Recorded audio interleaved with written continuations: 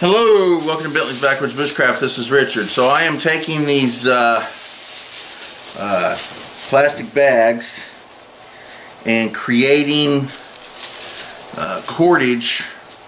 All I'm doing is I cut them, make loops, and then I'm just putting them around my leg. And then when I get a good amount of them, I cut them all and make strips which is what I have here. And then I take those strips and tie them together and then weave them on the loom. So anyway, that's got nothing to do with what this video is about. I'm just nice. Yeah, I'm just letting you know that's what I'm doing. So when you see me do all this this stuff here like this, you know you know why I'm acting weird. Anyway, uh I'm gonna do this video uh, I don't expect too many people to agree with it. Yeah. Um, and, and I'll be honest, I don't really care. Um, if you want to disagree, and if you want to disagree in the comments, feel free. But be nice about it. But yeah, be nice about it. I'm not going to be mean in my verbalization of my belief, but I'm going to be honest, and I'll be I'll be honest. I'm for the most part always honest even to the detriment of myself and others around me. So anyway, uh, no matter how you believe humans got here, whether you believe the Christian idea that their God created us, or whether you believe more in the alien Anunnaki type belief system, which I tend to go for more than anything else, or whether you believe we just appeared here just randomly out of just the goo that just happened to be here at the right time at the right place and blah blah blah. Does not matter how you believe in our beginnings. I will say this. Other than just randomly appearing, if there was any design whatsoever, either from your God or somebody else's God or just an alien force, it doesn't really matter. We were slaves. Now, I know the Christians aren't going to agree with that, but even from their stories, clearly their God kept Adam and Eve around as a plaything. I mean, there's no other reason for the way they were treated and crap like that. But anyway, and if you believe in the Anunnaki, which really tends to be my idea is we were purposely created by an alien uh, which is the same thing the Christians believe. They just call their alien God. But anyway uh, we, we were originally just slave labor. That's all we were. Now at some point we decided that wasn't cool and we broke our chains and we became less than the sheepish, dog-like slaves that we were. And we became predators. We became, uh, we, we took over our destiny. We decided what we were going to do, when we were going to do it, how we were going to do it. And we were predators. And we were damn good predators too. Now, through time, the majority, not everybody, not everybody, but the majority of people became slaves again. Voluntarily, nonetheless. Uh, as, as, a, as a whole, I think humans in general have the attitude of being slaves, being sheep, and being dogs. Now, the difference between a dog and a wolf is simple. The dog domesticated itself. Uh, we didn't do that, by the way. They did it for us. Uh, they domesticated themselves. Wolves did not. Uh, dogs are nothing more than a wolf that's decided to domesticate themselves.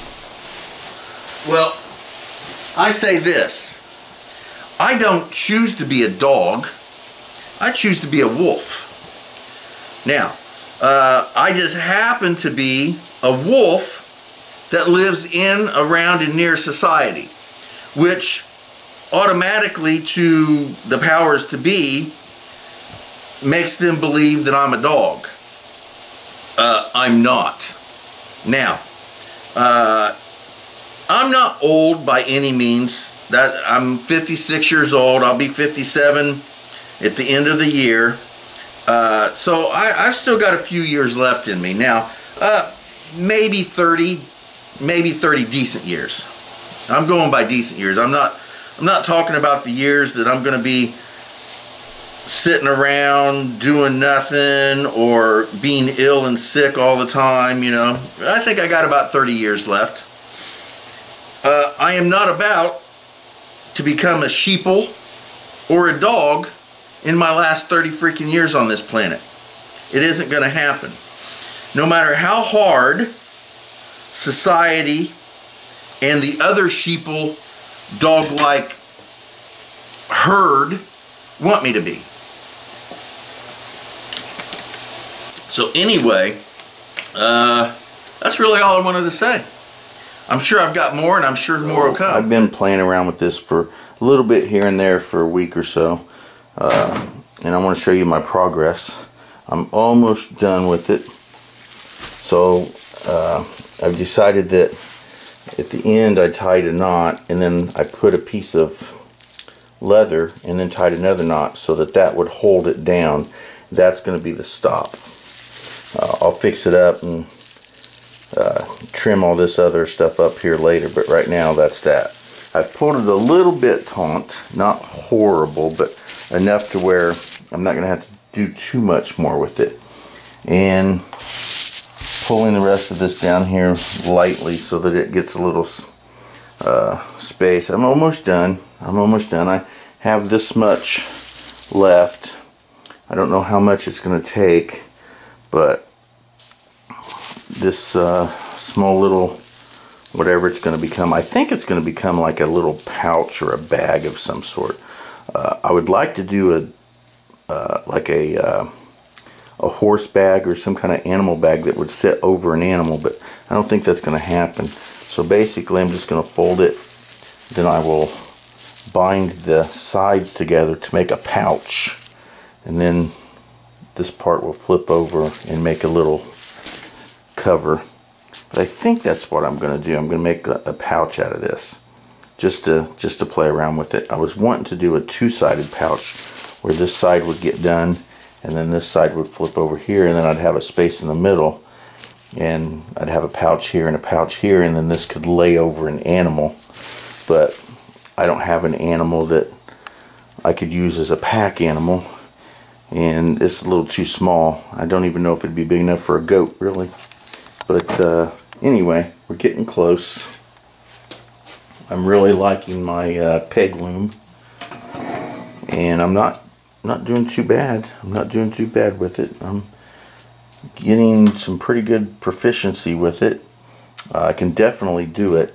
I can definitely make one of these out in the woods, use it, and create whatever I wanted to create uh, from this weaving process. I think this is going to be my main type of weave is this peg loom. I'm gonna play around with other types of looms just just to get some experience with it but I really like this one. It's easy. I can do it. And you know once I find something I can do that's easy that that's practical there's no reason to go anywhere else or do anything else than what I already know. So anyway, this is just a, a quick one here. I'll get back with you when I get it completely done and when I really decide what I want to use this for. I'm not 100% sure really right now.